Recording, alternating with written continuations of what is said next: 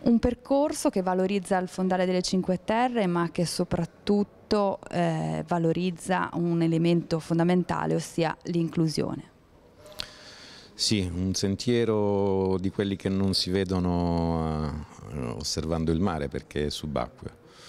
Un sentiero delle Cinque Terre offerto alle persone che normalmente sono escluse dal mare e soprattutto dai fondali del mare, eh, che sta fra i 6 metri e i 18 e che prevede un, una serie di, di tappe mh, ben descritte anche in braille.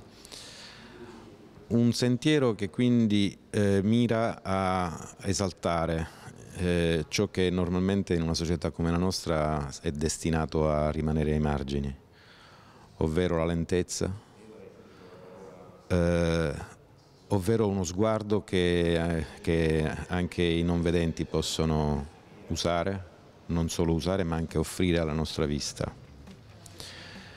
Perché mh, impariamo nella vita che le situazioni che mettono ai margini le persone ci privano spesso di tante considerazioni e tanta lettura di, che le persone ai margini invece hanno da offrirci per capire esattamente noi che sembriamo inclusi e sembriamo in corsa quanto abbiamo invece da imparare. Quali sono le particolarità di questo percorso?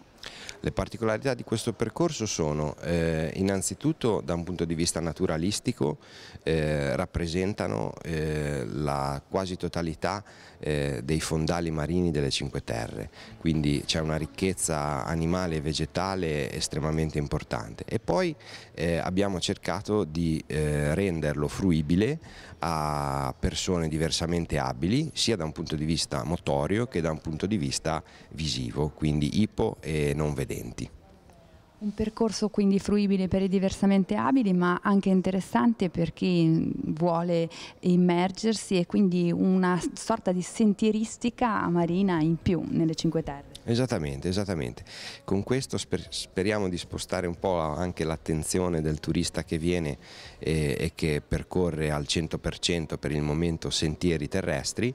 Questo invece è un sentiero attrezzato, organizzato dal parco, gestito e manutenuto dall'Associazione Cinque Terre sotto il mare per il turista che vuole eh, dare un'occhiata anche a quello che c'è sotto il mare delle Cinque Terre, non solo quello che ci si riflette.